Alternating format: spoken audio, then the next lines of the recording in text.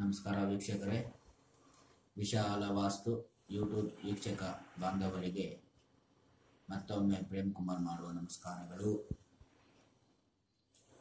ನಮ್ಮ ವಿರಯ ಗುರುಗಳ ಆಶೀರ್ವಾದದ ಮೇರೆಗೆ ಮತ್ತೊಂದು ವಿಶೇಷವಾದಂಥ ಮಾಹಿತಿ ಸಂಗ್ರಹ ಮಾಡಿ ಬಂದಿದ್ದೇನೆ.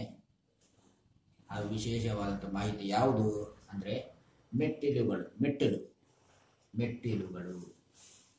ಅಂದರೆ ಒಂದು ಮೆಟ್ಟಿಲು ಅಂದರೆ ಏನು? ಒಂದು ಫ್ಲೋರಿಂದ ಮತ್ತೊಂದು ಫ್ಲೋರ್ಗೆ ಹೋಗೋಕ್ಕೆ ನಾವು ವೇ, ದಾರಿ ಮಾಡ್ಕೊಳ್ಳೋದು ಯಾವ ರೀತಿ? ಮೆಟ್ಟಿಲಿರಬೇಕು ಎಲ್ಲಿರಬೇಕು? ಅದು ಯಾಗಿರಬೇಕು ಅಂತ ಒಂದು ವಿಶೇಷವಾದಂಥ ಮಾಹಿತಿ. ಇದು ಈ ಒಂದು ವಿಡಿಯೋಗಳು ಒಂದು ಸುಮಾರು ಒಂದು ಮೂರಿಂದ ನಾಲ್ಕು ವಿಡಿಯೋಗಳು ಮಾಡೋಣ ಅಂತ ಚಿಕ್ಕ ಚಿಕ್ಕದಾಗಿ ಮಾಡೋಣ ಅಂತ ಮೊನ್ನೆ ಒಂದು ಕಮೆಂಟ್ ಮಾಡಿದ್ರು. ಸುಮಾರು ಹತ್ತು ನಿಮಿಷ, ಹನ್ನೆರಡು ನಿಮಿಷ ಇದೆ ವಿಡಿಯೋಗಳು. ಮೂರಿಂದ ನಾಲ್ಕು ನಿಮಿಷ ಮಾಡಿ ಅಂತ ಒಂದು ಕಮೆಂಟ್ ಬಂದಿತ್ತು. ಓಕೆ ವೆಲ್ಕಮ್ ಅಂತ ಅದಕ್ಕೆ ರೀತಿ ಮೆಸೇಜ್ ಮಾಡಿ ನಾವು ಅದಕ್ಕೆ ನಾವು ಆ, ತಲೆಬಾಗ್ತೀವಿ ನಾವು ಅದನ್ನ ಪ್ರಕಾರ ನಾವು ಅಕ್ಸೆಪ್ಟ್ ಮಾಡ್ತೀವಿ. ಸೊ ಅದಕ್ಕಾಗಿ ಒಂದೊಂದು ವಿಡಿಯೋ ಮೂರಿಂದ ನಾಲ್ಕು ನಿಮಿಷ ಮಾಡ್ತೀವಿ. ಮೊದಲನೇದಾಗಿ ಮೆಟ್ಟಿಲು ಎಲ್ಲೆಲ್ಲಿದ್ರೆ ಒಳ್ಳೆಯದು ಅನ್ನೋದನ್ನು ಮಾತ್ರ ಈ ವಿಡಿಯೋದಲ್ಲಿ ಮಾಡೋಣ. ಎಲ್ಲಿದ್ರೆ ಒಳ್ಳೆಯದು? ಮೊದಲನೇ ಪಾಸಿಟಿವ್ ಅಂದರೆ ಹಂಡ್ರೆಡ್ ಪರ್ಸೆಂಟ್ ಪಾಸಿಟಿವ್ ಯಾವುದು? ಅಂದರೆ ನೋಡಿ ಪೂರ್ವ ಆಗ್ನೇಯ. ಮೊದಲನೇದಾಗಿ ಪೂರ್ವ ಆಗ್ನೇಯ. ಅಲ್ಲಿದ್ದಾಗ ದಕ್ಷಿಣದ ಮುಖ ಮಾಡಿ ಹತ್ತಬೇಕು. ನಂತರ ಉತ್ತರದ ಮುಖ ಮಾಡಿ, ಅಂದರೆ ಈಶಾನ್ಯ ಮುಖ ಮಾಡಿ, ಮತ್ತೆ ವಾಪಸ್ ಹೋಗ್ಬೇಕು. ಅಂದರೆ ಆ ರೀತಿಯಾದಂಥ ಮೆಟ್ಟಲನ್ನು ನಾವು ನಿರ್ಮಾಣ ಮಾಡಬೇಕು. ಮತ್ತೆ ಇನ್ನೊಂದು ಪಾಸಿಟಿವ್ ಇದೆ. ಅದು ಯಾವುದು ಅಂದರೆ, ನೋಡಿ, ಪಶ್ಚಿಮ ಮುಖ ಮಾಡಬೇಕು ಹತ್ತಬೇಕು ಅಂದರೆ ಪಶ್ಚಿಮ ಮುಖ ಹತ್- ಹತ್ತಿ ಹತ್ತಿ ಹತ್ತುವಂಥ ಮೆಟ್ಟಲು ವಾಯು ಮೇಲೆ ಮಾಡಬೇಕು. ಇವೆರಡು ತುಂಬ ಉತ್ತಮವಾದಂಥ ಜಾಗ ಮೆಟ್ಟಲು ನಿರ್ಮಾಣ ಮಾಡೋದಕ್ಕೆ. ಓಕೆ? ನೆಕ್ಸ್ಟು ಎಲ್ಲಿ ಒಂದು, ಇನ್ನೊಂದು ಜಾಗ ಇದೆ. ಯಾವುದು ಅಂದರೆ? ಯಾವುದಂದ್ರೆ ದಕ್ಷಿಣ ಆಗ್ನೇಯ, ಪಶ್ಚಿಮ ವಾಯುವ್ಯ. ಇವೆರಡು ಲಾಭ ಇಲ್ಲ, ನಷ್ಟನೂ ಇಲ್ಲ. ಫಿಫ್ಟಿ ಫಿಫ್ಟಿ ಇದು. ಲಾಭನೂ ಕೊಡಲ್ಲ, ನಷ್ಟನೂ ಕೊಡಲ್ಲ. ಸೊ ಈ ರೀತಿ ಇಟ್ಟಾಗ.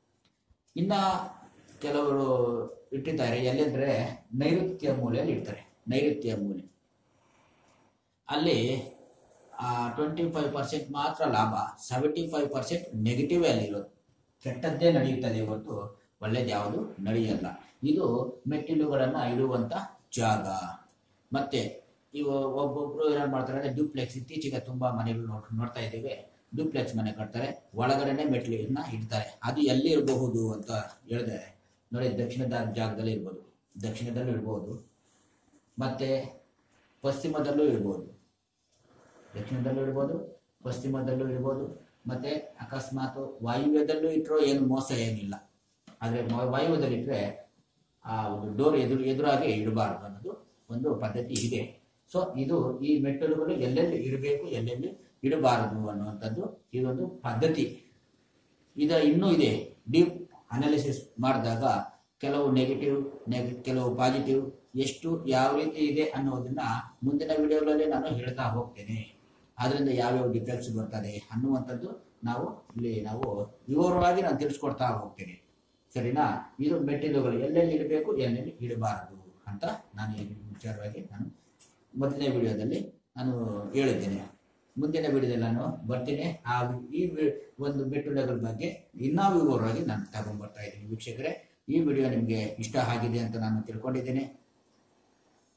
ಇಷ್ಟ ಆಗಿರೋರು ಲೈಕ್ ಪ್ರೆಸ್ ಮಾಡಿ. ಸಬ್ಸ್ಕ್ರೈಬ್ ಮಾಡಿ, ಯಾರು ಮಾಡಿಲ್ಲ ಅವ್ರು ಸಬ್ಸ್ಕ್ರೈಬ್ ಮಾಡಿ ಶೇರ್ ಮಾಡಿ. ಅವರು ಬೇರೆಯವ್ರು ನೋಡಲಿ, ಅವ್ರಿಗೂ ಅರ್ಥ ಆಗಲಿ, ಮೆಟ್ಲ ಬಗ್ಗೆ ಅರ್ಥ ಆಗಲಿ. ನಂತರ ಅವ್ರಿಗೇನಾದ್ರು ಅರ್ಥ ಆಯ್ತು ಅಂದರೆ ನಿಮ್ಮಿಂದ ಒಂದು ಪಾಸಿಟಿವ್ ಅವ್ರಿಗೆ ಆಗುತ್ತೆ, ನಮ್ಮಿಂದ ಆಗೋದಿಲ್ಲ. ಸೊ ಹಾಗಾಗಿ ಈ ಒಂದು ವಿಡಿಯೋ ಇಲ್ಲಿಗೆ ಮುಕ್ತಾಯ ಮಾಡ್ತೇನೆ. ಮುಂದಿನ ವಿಡಿಯೋದಲ್ಲಿ ನಾನು ಬರ್ತೇನೆ. ಅಲ್ಲಿವರೆಗೂ ನಮಸ್ಕಾರಗಳು.